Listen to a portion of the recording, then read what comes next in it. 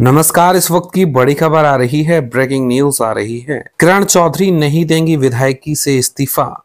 कांग्रेस छोड़कर भाजपा ज्वाइन करने वाली हरियाणा की तोसाम विधानसभा सीट से विधायक किरण चौधरी विधायकी से इस्तीफा नहीं देंगी।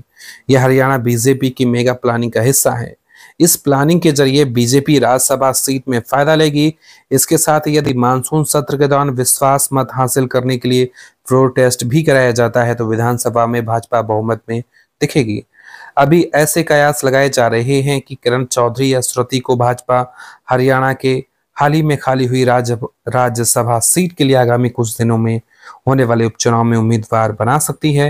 हालाँकि इसके बारे में कोई आधिकारिक घोषणा नहीं की गई है किरण या श्रुति के अलावा भी पार्टी कोई अन्य उम्मीदवार बनाती है तो तो भी बीजेपी कांग्रेस के मुकाबले मज़बूत स्थिति में रहेगी। आपको बता दें, कानूनी विश्लेषक और पंजाब हरियाणा हाई कोर्ट के वकील हेमंत कुमार ने बताया है कि बीजेपी ने जानबूझकर सोची समझी रणनीति के कारण किरण से इस्तीफा नहीं दिलवाया है। अगले कुछ दिनों में हरियाणा से खाली हुई राज्यसभा सीट के उपचुनाव में मतदान की आवश्यकता होती है।